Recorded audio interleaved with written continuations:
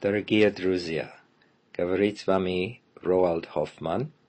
Я профессор Американского университета в Корнелл штате Нью-Йорк, и я из еврейско-польского происхождения, родился в городе Золочив, недалеко от Львива, в западной, на западной Украине.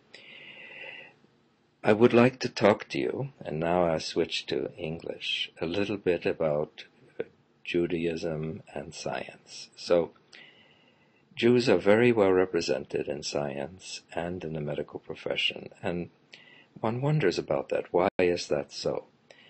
Now, it could be that, and this is what we have to get out of the way before we can talk about this, is that scientists are smarter than other people and uh, Jews are smarter than other people. Well, as for scientists being smarter than other people, there is no evidence in the personal lives of scientists or the way they conduct uh, their business that they're any smarter than other people. They may be better at math courses, but math is not all of life. And as for Jews being smarter than other people, I mean, it might be something that someone who's not Jewish believes, but you just send them to Israel and have them live there for a few years and ask them again about that. So why is it that there are more Jews in science? One is, I think, the tradition of learning, which was there in the times when the people were religious, and and the way that that study was done, the Talmud, studied over two thousand years, was in dialogue, in exchange of opinions, in a kind of balance of hypothetical and real cases, and that has very much of a resemblance to the way that science is done. So that people remember that in some way. They'd been studying that for millennia. There was a tradition of learning and support for it. I actually think there is a positive value then to assimilation. That is, as long as one was uh, isolated in their own community, one couldn't penetrate into science. But if one is trying to enter a society, as Jews were once society opened up to them in Europe and then in America, as they tried to enter society and they were on the outskirts, sort of watching from the outside, that kind of watching and observation has a lot to do with the way that science is done. The interesting thing today is that it is the same for other groups, uh, as it was for the Jewish immigrants to the United States, so it is for the Chinese and Indian immigrants as well.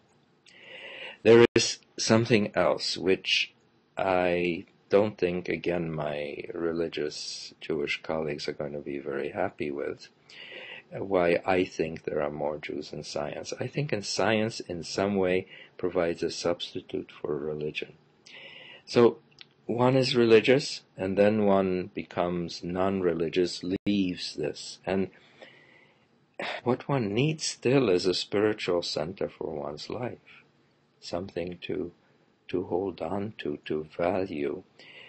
And I think that in some ways, social concern, as seen, for instance, in the beginnings of socialism, which also attracted Jews, and the kind of all encompassing concentration that science provides on getting reliable knowledge of this world, I think in some ways that was a form of religion for the people who took who took it on.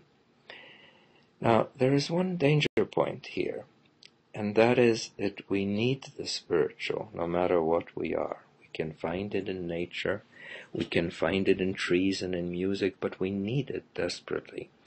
And so my plea to you, to those of you who are going to go on to be scientists, is leave room for the poem by Pushkin, for the music of Tchaikovsky, or for the modern music of Schnittke. Those spiritual things are of immense value. They make you a better human being. The science you'll be good at, but leave a room for books, for music, for literature. It is that way that you become a whole human being. I send you my best regards. Limmud is a wonderful, wonderful organization. Please stay with it.